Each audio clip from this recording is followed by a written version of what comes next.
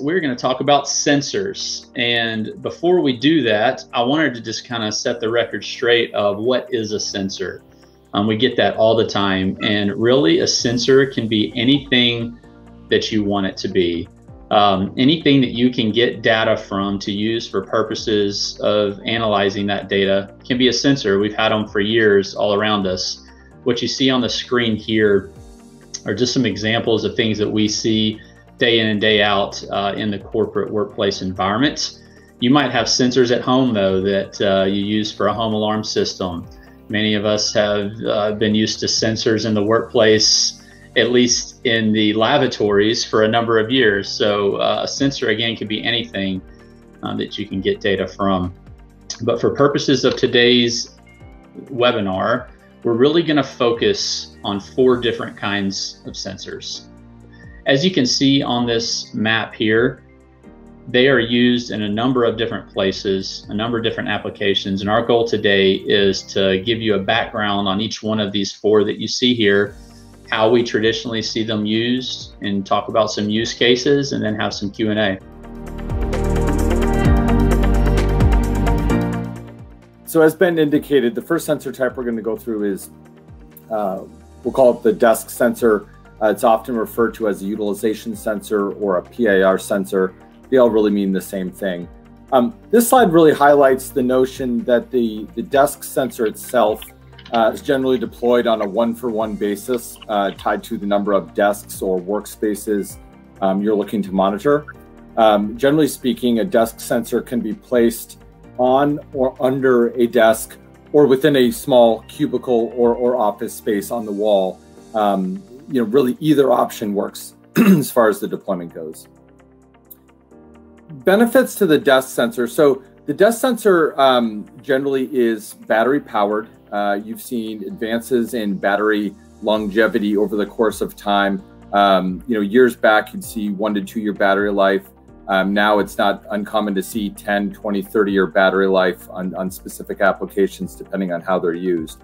Uh, but the desk sensor is a really nice tool for understanding um, your utilization, your, your, your, your occupancy on a per space basis. Um, as you can see in the, the screenshot there, uh, each of those red dots represents a, a sensor under a defined workstation. Uh, all of that data aggregates back to a central repository um, for, for visibility and uh, digestion. Um, the other main benefit of the desk sensor is it allows you to understand real-time utilization. Um, generally, you'll see kind of kiosk style displays in, in an office entryway uh, that employees will use to navigate one space based on whether a, a seat is, is used or not. Um, additionally, in the market, you'll see uh, integrations with the desk sensor type, uh, whether it's a BMS, BAS system. Uh, we have a number of clients that control their lighting or HVAC systems using a myriad of desk sensor technologies. Um, and the big thing this ultimately comes back to is growing revenue by adopting co-working strategies to rent and share unused space. Um, as employers are coming back to office, um, they're thinking through how their space is or isn't going to be used compared to how it was used, um, whether it's hoteling um, or a hybrid workforce. The desk sensor provides that that analytical insight uh, into into how this space is or isn't being used, and is really a powerful tool um, for things like integration.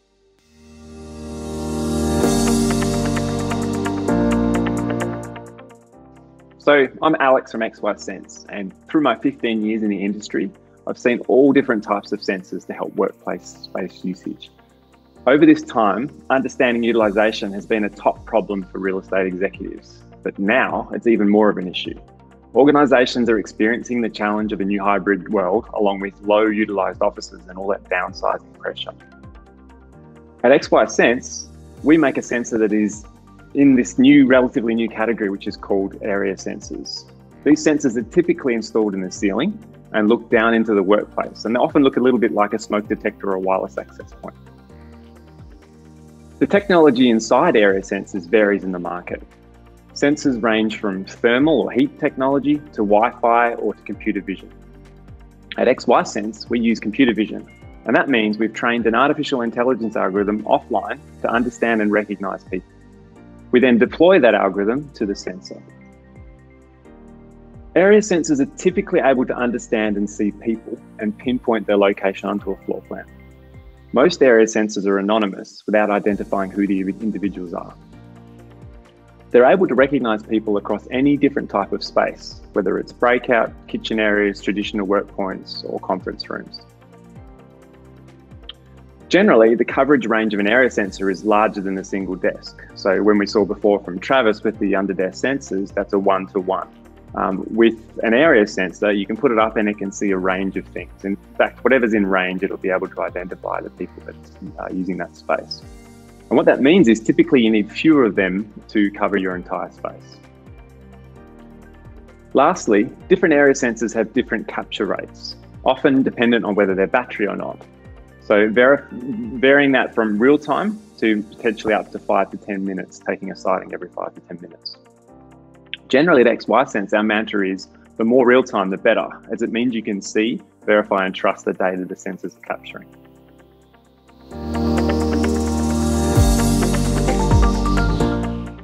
So this is this is a really kind of emerging sensor market um, that that is becoming even more important as you think about a return to work. You know, once integrated with BMS or BAS systems, you can greatly reduce your energy consumption, uh, your lighting consumption. Um, you can tailor your your lighting and heating kind of time on and off based on the actual needs of, of your office staff. Um, you can reduce your carbon footprint by allocating HVAC or lighting based on actual real-time demand, like I said, versus theoretical demand.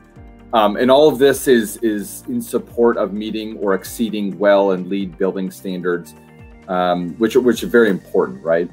Um, as we as we think about the types of environmental factors that are important to one's organization, um, utilization, uh, again driven by that PIR sensor, uh, but other things such as temperature, humidity, air pressure, light, noise, uh, air quality by way of TVOC, which stands for total volatile organic compounds.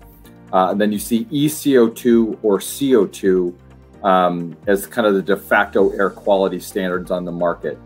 Um, you know, and really to, to, to FM systems and the market as a whole, the sweet spot comes in when you're able to combine data sets uh, and really look at things like how does air quality impact utilization? How does temperature impact utilization? Um, how does temperature and air quality play off one another? Very important as you think about the well-being of your of your staff. Um, one, one other thing I'll say quickly on environmental sensors is um, the market supports a couple different approaches here, right? You can um, you can deploy what what I'll classify as an all-in-one sensor, so a single sensor that monitors many different environment, environmental metrics. Or if you don't need all the environmental metrics, um, there are other sensors that support, say, one or two of the metrics that, that really custom tailor um, your need.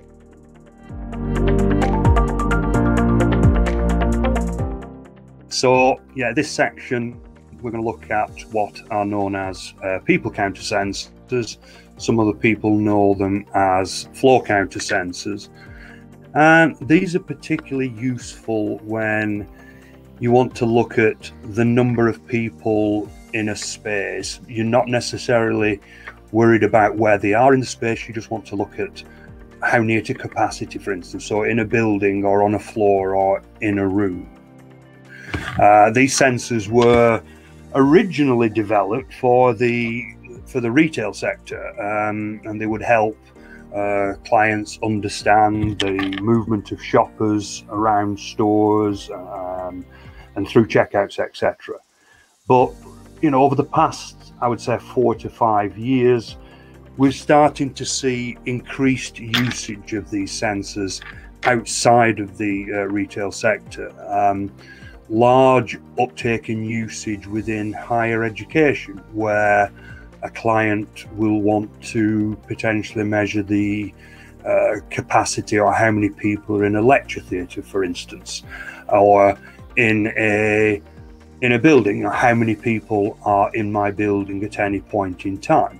Uh, these sensors can, you know, they would be positioned over an ingress or egress point, uh, and give you uh, can give you real time data for how many people are in the building, on a floor, or in a room at any point in time. Uh, these sensors uh, slightly different to the open area sensors Alex just talked about, and again different to the ones that uh, Travis talked about. These use uh, 3D stereo vision technology, so they're using uh, camera technology, um, but similar to you know to Alex and XY Sense, privacy is of uh, you know paramount importance with these sensors, and again, like the XY sensor only metadata leaves the sensor. So we have no no imagery leaving the sensor. There are, you know, in this particular sensor, we have up to four levels of privacy protection built in uh, to the sensor itself.